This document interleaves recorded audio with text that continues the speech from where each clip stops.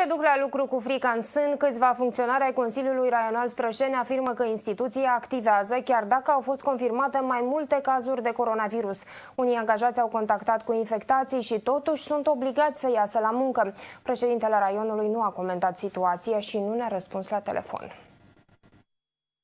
În hotărârea de ieri a Comisiei Teritoriale Extraordinară de Sănătate Publică Strășeni se menționează despre 5 cazuri de infectare cu COVID-19 și suspendarea activității a câtorva direcții din cadrul Consiliului. Totuși, sunt funcționari care spun că numărul contaminărilor ar fi mai mare, iar conducerea Consiliului nu ia nicio măsură. Mai mult îi obligă să iasă la muncă. Au acceptat să ne vorbească unii angajați, însă au insistat să rămână anonimi. În decizie se vorbește despre 5 Uh, dar uh, colegii care sunt deja la domiciliu, care stau la domiciliu și își fac uh, tratamentul, au confirmat cazurile existente, care sunt mai multe decât cele scrise pe foaie. Funcționarii au fost obligați să în diferite situații. Sunt infectați. Dumneavoastră v-ați simțit în siguranță la postul de muncă?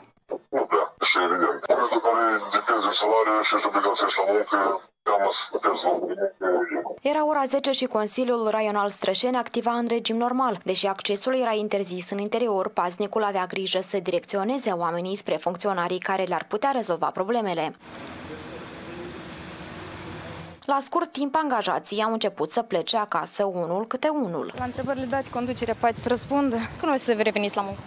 Nu știm să ne, să ne anunțe. Un angajat al direcției de învățământ ne-a spus că sunt trimiși acasă pentru că se va face dezinfecție. Ne ducem acasă că cred că este nevoie de făcut o dezinfecție în toate birourile, în etaje. Este ora 10 și ceva, ați ieșit la muncă la ce oră? Eu la 8 am fost la serviciu. Deci la ora 8 și peste două ore vă trimit acasă să facă dezinfecție?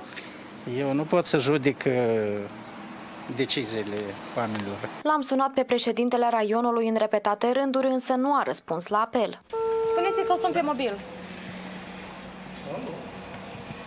Acest număr este L-am rugat și pe paznic să-l anunțe că l-așteptăm jos, dar acesta nu a mai coborât. Totuși a încercat vicepreședintele, dar s-a răzgândit. Vicepreședintele a fost? Da. Dar de ce a plecat? Nu? De ce a plecat? Nu, că eu n-am ieșit. S-a întors, a plecat. Secretara Consiliului, care se afla la birou, ne-a spus că doar președintele este împuternicit să ne răspundă la întrebări. Nu cunosc. Nu cunoașteți câte, ca... nu cunoașteți câte cazuri sunt de infecție? Nu. Dumneavoastră nu vă este frică să vă contaminați la muncă? În jurul orei 11, paznicul a încuiat ușa de la intrare. Ce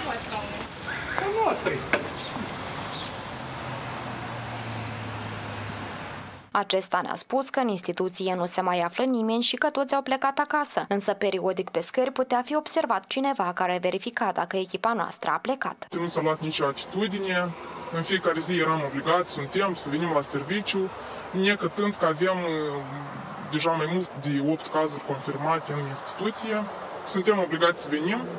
Astăzi s-a scurtat programul de muncă cu pretextul de a se dezinfecta instituția, dar de luni revenim de la ora 8 la serviciu toți colegi. Coincidență mare a fost că s-a scurtat ziua exact cu maxim 10-15 minute înainte de a veni echipa ProTV-ului. În raionul Strășeni sunt confirmate 633 de cazuri de contaminare cu COVID-19.